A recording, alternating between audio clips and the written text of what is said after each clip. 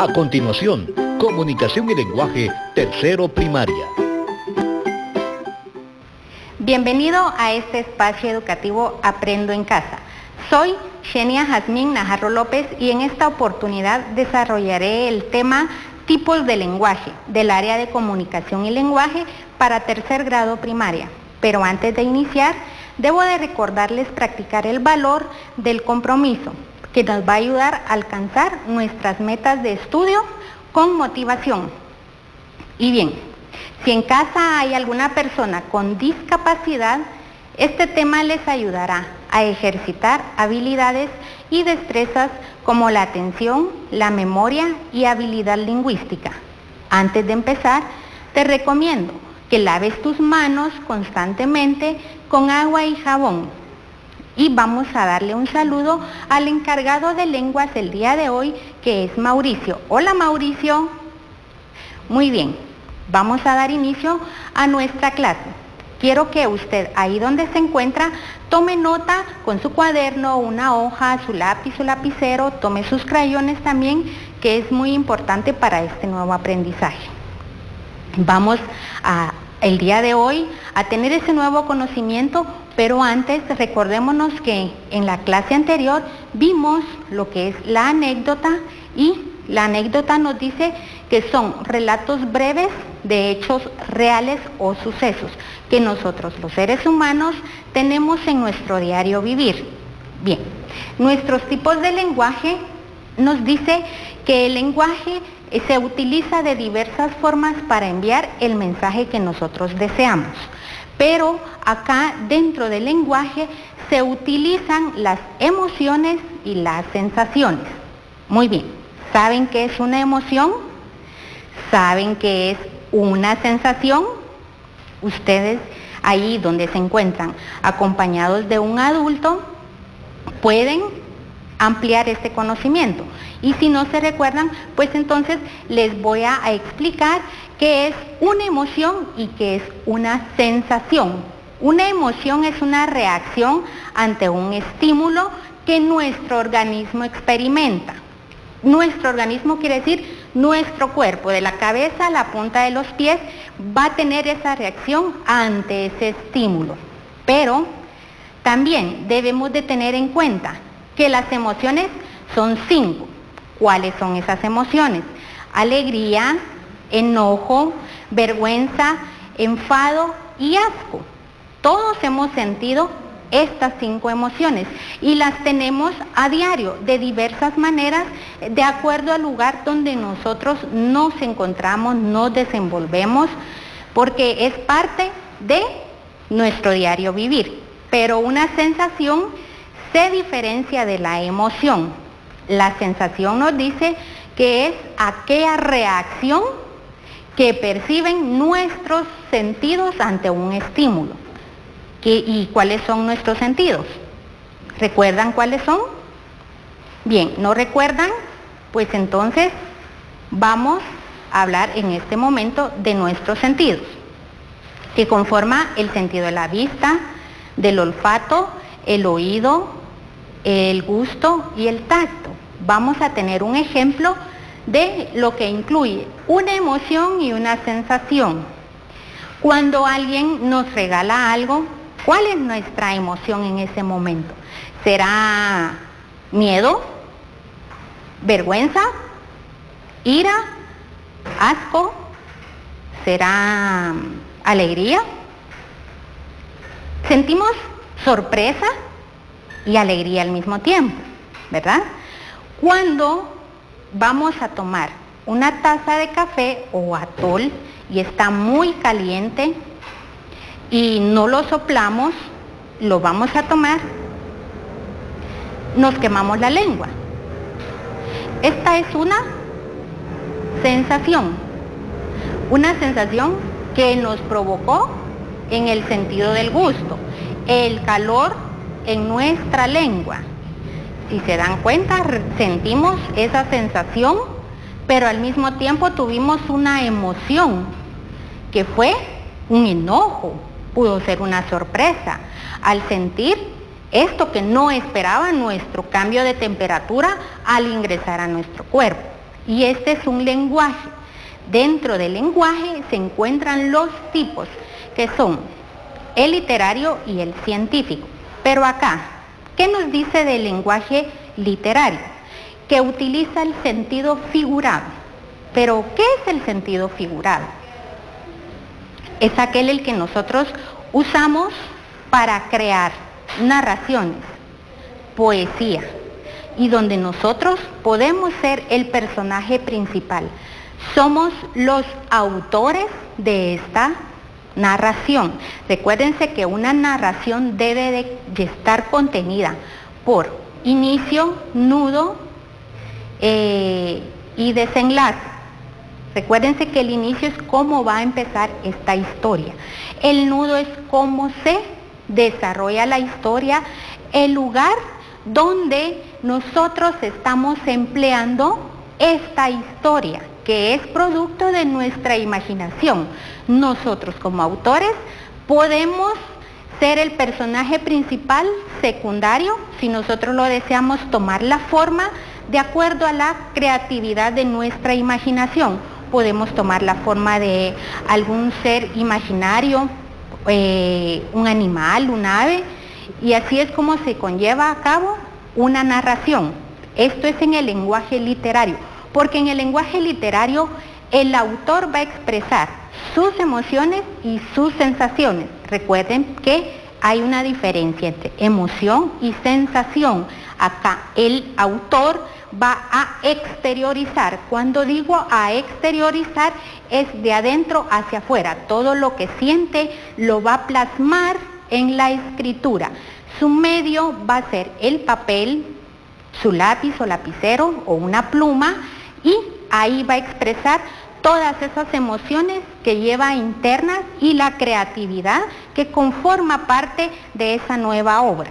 Entonces, acá en el lenguaje literario deben de tener en cuenta que usted ahí donde se encuentra puede crear una narración respetando los aspectos que lleva la narración y sobre todo teniendo una buena ortografía y caligrafía para poder desarrollarla y poder enviar el mensaje que usted está transmitiendo como autor de esa obra. Tenemos el lenguaje científico porque acá nos dice que va a expresar las palabras tal y como son, que no va a cambiar su significado en el lenguaje literario el significado de la palabra va a cambiar, siempre va a cambiar. ¿Por qué? Porque ahí tomamos en cuenta que hay una emoción, una sensación y el autor principal es usted. En el científico es la palabra textual, como es. ¿Ya? Acá, en el en lenguaje científico, usted puede eh, basarse en investigaciones.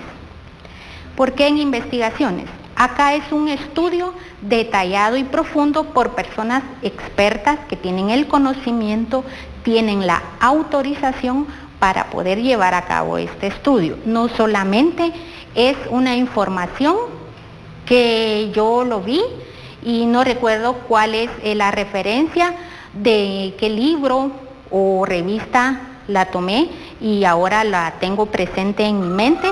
No es así. Debo de tener la experiencia y ese contacto con el material y poder yo tener otro estudio por aparte de esa investigación, de lo que a mí me está llamando la atención. Este es el lenguaje científico, pero vamos a tener un ejemplo de la diferencia entre lenguaje literario y lenguaje científico, para que usted vea que en uno se habla de una poesía, se le está dando otro sentido al objeto central que tenemos y en la otra es en sí el estudio, el significado completo como es. Y el ejemplo acá es el señor astro, sol. Todos conocemos el Sol. Es la, es la estrella central del sistema solar. Nos da energía, nos da calor, nos da luz, sirve para los humanos, las plantas y los animales, porque sin el sol nosotros no vamos a poder sobrevivir. ¿Y de qué manera? Pues sería nuestro planeta Tierra un planeta oscuro y muy frío. Serían unas temperaturas muy bajas y en oscuridad. Pero es importante que acá usted vea que yo le estoy hablando de el sol en términos científicos, en lenguaje científico, porque todos sabemos que es parte del sistema solar. que se encuentra en el espacio exterior. Y tenemos una poesía que acá nos está dando una referencia el autor de cómo ve el sol, cómo se imagina el sol, qué tan importante es en su diario vivir. Y usted puede verlo que así es. Hay días muy lluviosos y nosotros sentimos frío, necesitamos de ese calor, no solo de nuestro abrigo, de un suéter, necesitamos también del sol. Las plantas necesitan del sol para qué? Para poderse alimentar y poder crecer y dar sus frutos. Y el sol crea energía también para nuestra vida. Por eso ustedes acá identifican el lenguaje literario y el lenguaje científico. Se le está dando un sentido diferente al objeto, pero esa es la diferencia. Vamos a tener otro ejemplo de lo que es el lenguaje ¿qué? literario y científico. Muy bien. Ahí tenemos en eh, tenemos zanahorias. ¿Conocemos las zanahorias? Sí, muy bien, las conocemos. Tenemos un elefante, tenemos un gato, muy bien. ¿Y cómo lo podemos emplear acá en este nuevo aprendizaje, este nuevo conocimiento que estamos teniendo el día de hoy? Bueno, a ver, si le damos el lenguaje literario a las zanahorias, puede ser una poesía o una narración, un cuento, ¿ya? Debemos de saber que nosotros tenemos que empezar una historia, nosotros podemos crearla a nuestro gusto. Y en el lenguaje científico, eso lo puede trabajar en casa, la narración con relación a las zanahorias. En el lenguaje científico yo le voy a aportar breve conocimiento en el cual es un tubérculo. porque es un tubérculo? Porque es una raíz de color, color naranja y es una verdura. Una verdura que eh, que, está presente en todas las comidas. Es muy conocida, la podemos saborear en sopas, en ensaladas, en puré, al gusto como quiera prepararlo en casa mamá. La, la podemos degustar de diferentes maneras, tiene muchas vitaminas y minerales que ayudan a nuestro organismo. Acá le estoy dando un lenguaje científico, no es un lenguaje creado por mi imaginación, es, un, es científico. El literario usted lo va a trabajar ahí en casa, en su cuaderno o en su hoja, para que usted lo tenga bien claro. Y tenemos ahí, en el cartel, lo que es una narración que dice el elefante Bernardo. Pero acá Bernardo es nuestro personaje principal. ¿Y quién es nuestro personaje principal? Un elefante. ¿Y qué nos dice del elefante? Que es muy amigable. El valor acá dentro de este cuento es la amistad. Y nos dice que él tiene muchos amigos en su centro educativo y que a la hora del, del recreo o del receso lleva sus carritos para jugar y compartir con sus compañeros. Ustedes ven que hay unos puntitos, usted puede continuar la historia de este cuento, como puede ser el nudo y el desenlace, para que usted vaya creando y también imagine en ese momento cómo pudo desarrollarse esta historia en el centro educativo a la hora del receso o del recreo. Pero en el lenguaje científico, ¿qué puede ser? Que es un animal vertebrado, porque contiene huesos de color grisáceo, de orejas muy grandes, enormes, una trompa bien larga que le sirve para alimentarse, para comunicarse, para agarrar objetos. La piel del elefante sirve también para uso de materiales. Entonces acá usted ya tiene una información científica. Y por último tenemos un gato. Esto va a ser trabajo que usted va a realizar ahí en donde se encuentra, en su cuaderno o en una hoja en compañía de algún adulto, para que usted pueda tener claro la diferencia en que hay en un lenguaje literario y en un lenguaje científico, porque esto nos va a ayudar a tener claro el significado de la palabra o del objeto que nosotros vamos a emplear. Y bien, ¿qué hemos aprendido el día de hoy? A identificar los tipos de lenguaje, pero los tipos de lenguaje están bien claros que es literario y científico. También incluye lo que es una buena pronunciación y entonación al momento de la creación de una narración o de un cuento. Debemos de tener en cuenta también que dentro del cuento va los aspectos inicio, nudo y desenlace, que sus personajes son siempre imaginarios y el autor va a expresar, va a exteriorizar todo lo que siente, sus emociones y sus sensaciones, de acuerdo a cómo él o ella se sienta en ese momento y lo va a plasmar en una hoja o en un cuaderno y ahí entonces le está dando un sentido diferente a la palabra o el significado al objeto que usted quiera tomar. En este caso sería el gato. Usted lo puede crear de acuerdo a su imaginación esta narración. En el lenguaje científico hay una infinidad de aspectos que se pueden cubrir.